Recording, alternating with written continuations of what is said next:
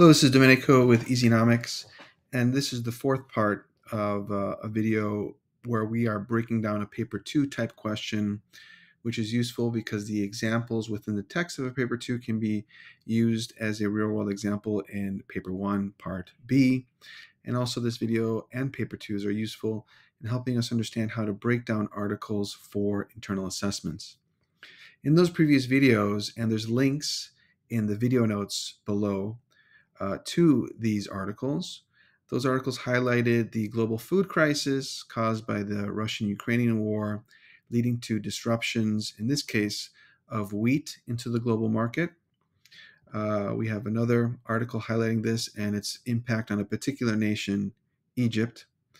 And we also have another article concerning the Middle East and North Africa regarding potential wheat and food shortages that could lead to uh, riots, famine, mass migration, and so on.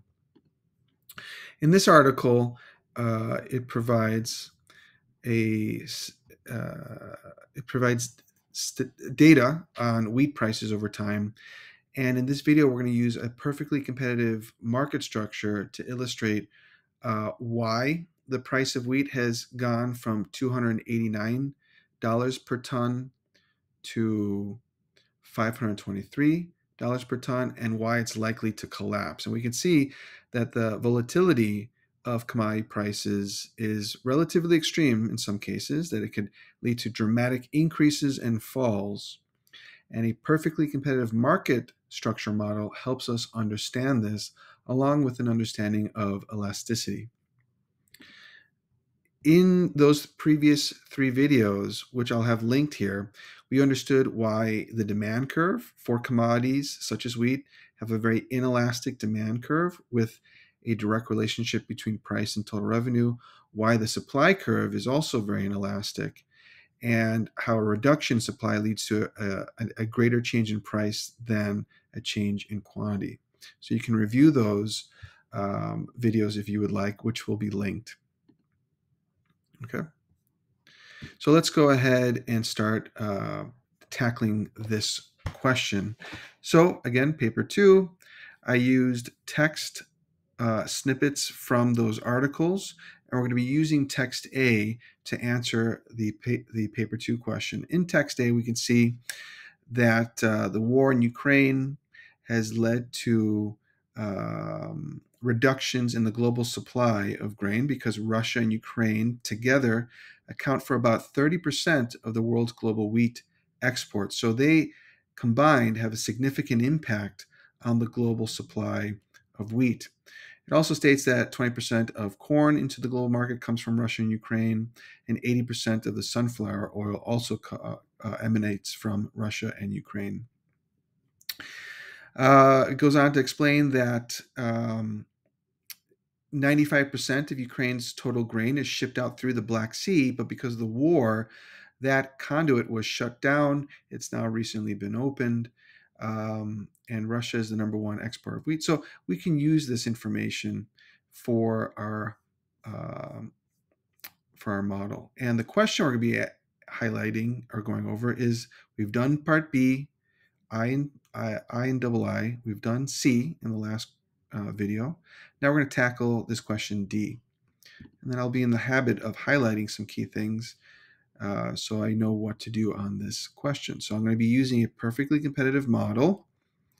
There's a little side note here, which includes the industry and the firm, to explain what's happening in the short run and in the long run uh, to global supply and wheat prices as a result of the Russo Ukrainian war. And in text A, paragraphs 1, 2, and 3, it highlights that the global supply has been reduced. So let's graph this.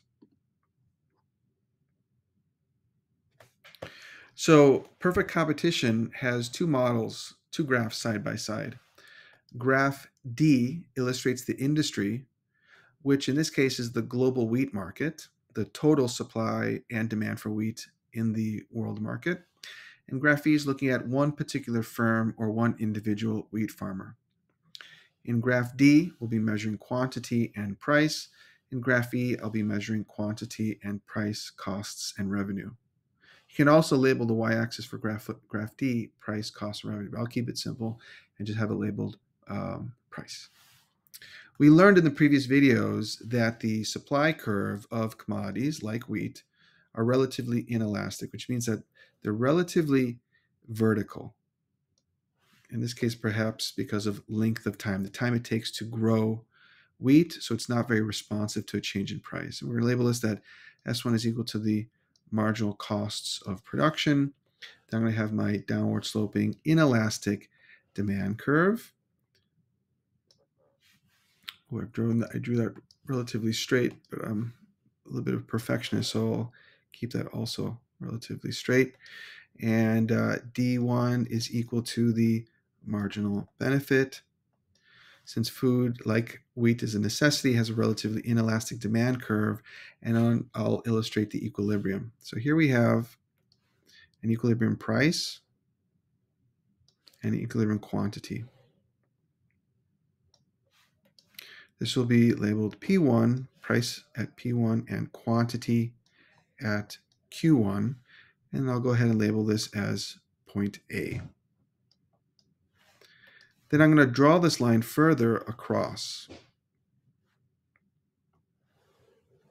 So we'll have that line come further across to become the perfectly elastic price that an individual wheat farmer must accept since they are a price taker.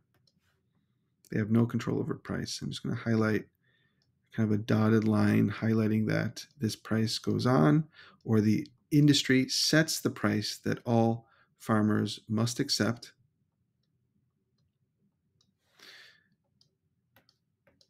And again, I'll label this as P1, price at P1. And here again, it's price at P1, which is equal to our demand curve, which is equal to our average revenue curve, which is equal to our marginal revenue curve. And I can also state that demand is equal to our marginal benefit. Oops, I don't want to confuse that with this demand curve. So uh, I'll call this, uh, well, we'll just say graph E, uh, D1, AR1, MR1, and MB1. Whereas graph D, this is D1. So what's missing? I got to draw my supply curve for the individual farmer. And that has a kind of backwards J shape. You've learned in theory of the firm that the supply curve has this sort of shape. The law of diminishing marginal returns takes place here, and that from that point on, the marginal cost of production is increasing, in this case for the individual farmer. So here we have uh, S1 for the individual farmer again equal to their marginal costs of production. And this particular point is going to be useful for me to mark where the average total cost curve is. This is going to be the lowest point for the ATC curve.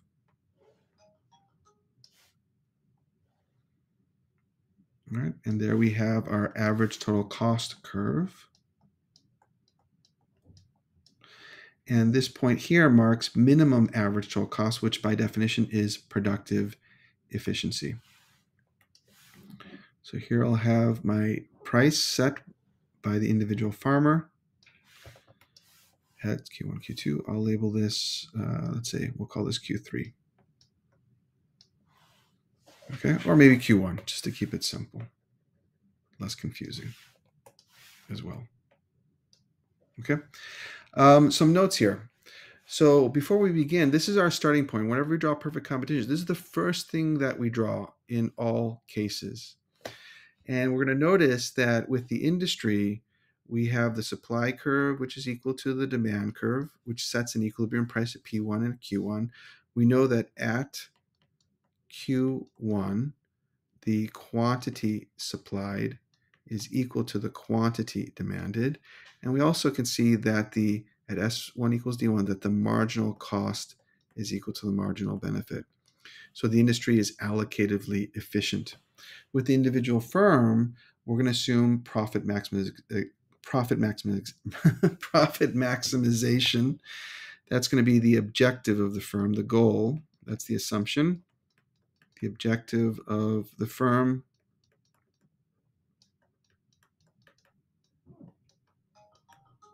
is to maximize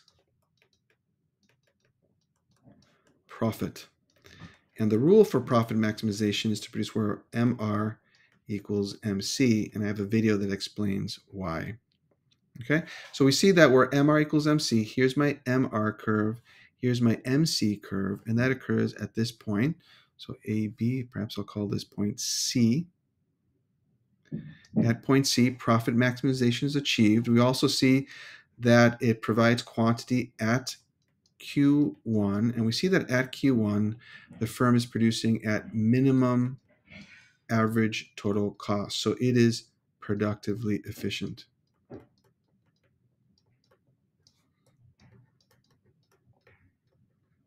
Okay, and we also see that the marginal benefits equal to marginal cost. So also here we see MB is equal to MC, so it's allocatively efficient. These are some background background notes right, that you should be aware of, which will help you with your evaluation. Okay, so let's go ahead and illustrate what's happening with the Russo-Ukrainian war. Well, the article highlights the war has disrupted the global supply. So there's less wheat being provided or exported by Russia and Ukraine, so the global supply curve would be shifting inwards. So let's illustrate that. So here it goes from S1 to S2, inelastic supply curve. S2 equals my marginal costs of production. That's a supply shock. Shifts in, sets a new equilibrium here at point B, which will establish a higher price in the world market and a reduced quantity.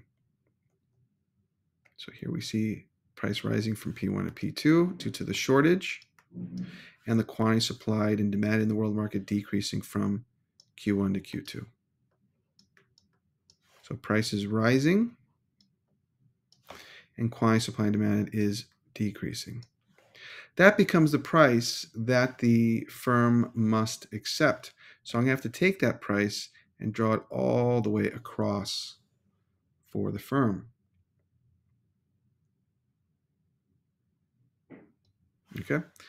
And again, I'll have dotted lines.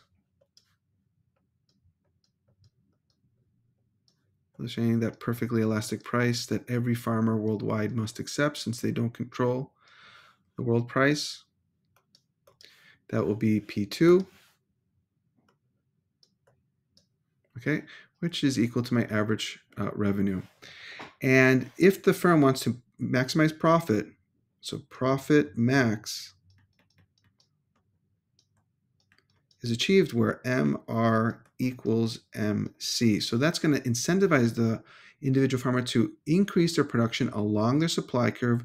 They're going to employ more land, labor, and capital resources until MR equals MC. So here's my MC curve.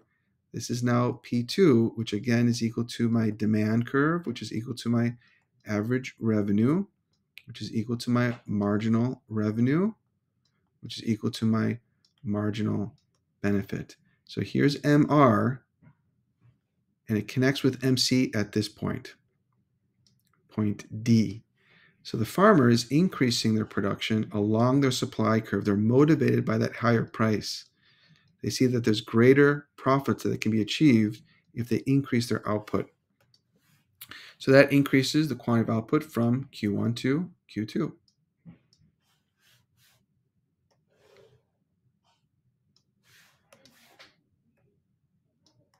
So here we have increased quantity supplied, the farmer employing more resources, land, labor, and capital resources. Now we have to highlight the profit that's being generated, the abnormal profit. At this point, we can see, and I'll make a little note, that price at P2, price at P2 is equal to my average revenue. What about my average total costs? My average total costs are right here at this point. So costs on, uh, on average are right here. So I'll label this, let's say, just we'll call this C1 or ATC. One, let's say, for example. And then I'm going to highlight this to highlight the supernormal profit that's being generated. And I'm, then I'm basically almost done drawing this. So this highlighted area here is the supernormal profit that the individual farmer is making. At Q2 now, at Q2, we see that the average revenue is greater than the average total cost. So the individual farmer is generating super normal profit.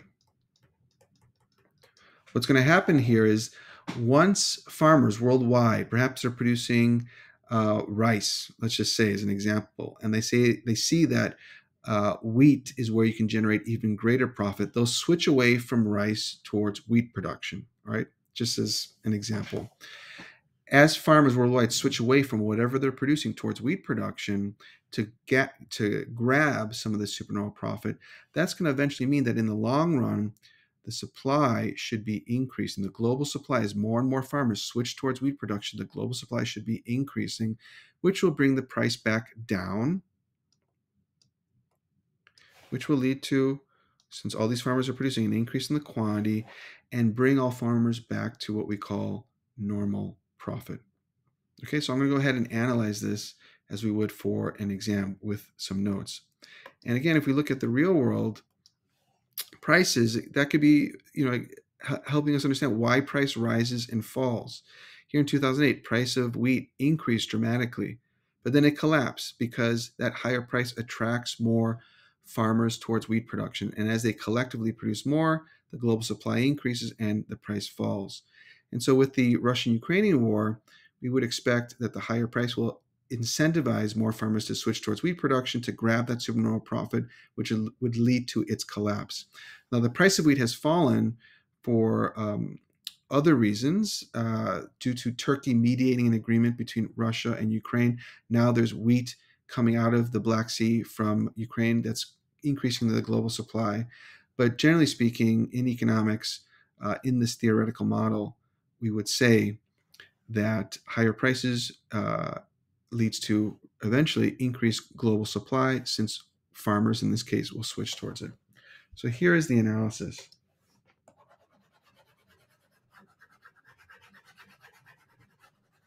As can be seen, we have two graphs, graph D illustrating the industry or the global wheat market, graph E illustrating the individual firm or wheat farmers. On the y-axis, we're measuring price.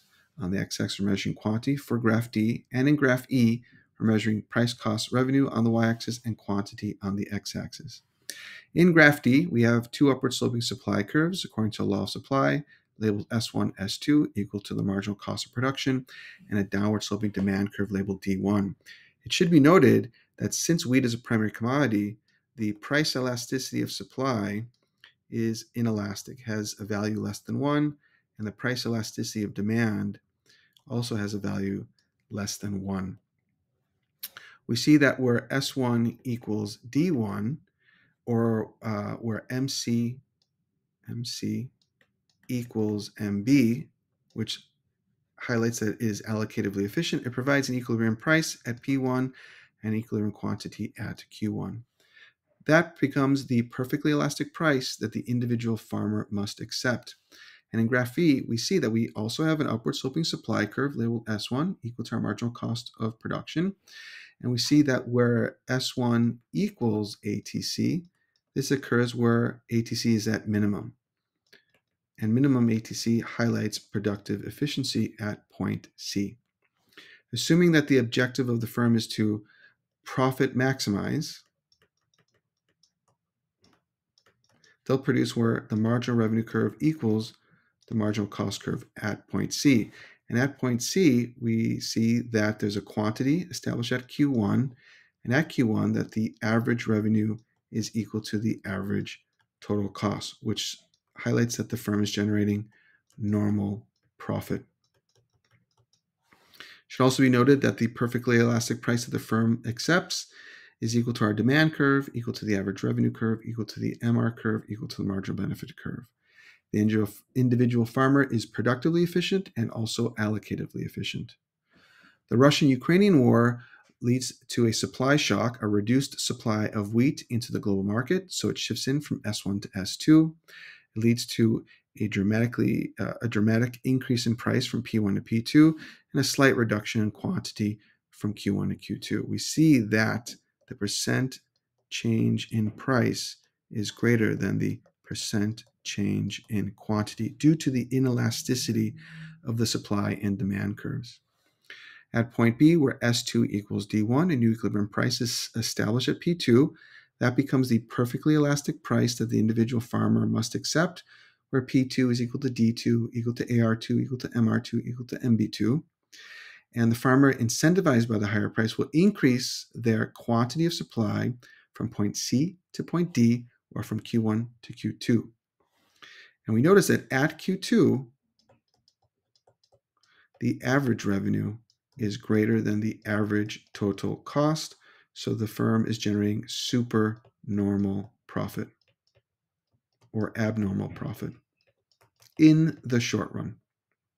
In addition, we see that at Q2, at Q2, ATC is greater than minimum ATC we see that this point is higher than this point, so the firm is becoming productively inefficient. The supernormal profit, that is the shaded area, attracts competition, attracts more farmers into wheat production. They switch away from whatever they're producing towards wheat production, and collectively, in the long run, that will increase the global supply of wheat. Thus, global supply of wheat should increase and move in graph D from S2 to S1 reestablishing an equilibrium at point A, causing the global price to fall from P1 to P, from P2 to P1, and the quantity supply and demand to increase from Q2 to Q1. That will become the price that the individual farmers must accept. And as the price falls, individual farmers, to minimize their losses, oops, will reduce their quantity supplied from D to C. And at point C, they will stop where they're generating normal profit, where AR is greater than AR is equal to ATC, and where at point C they're producing at minimum ATC, so it's productively efficient. And also uh, with the individual firm, they're allocatively efficient because at point C, marginal benefit equals the marginal cost. So that's just a, uh, an overview of the analysis. I'll provide in the notes below an outline of that analysis, and I also have another video that explains this. But here you have a real world example to highlight how the Russian Ukrainian war led to supply shock, but in the long run, how the price should eventually fall as the higher price attracts more firms or farmers into the global market to produce. Okay.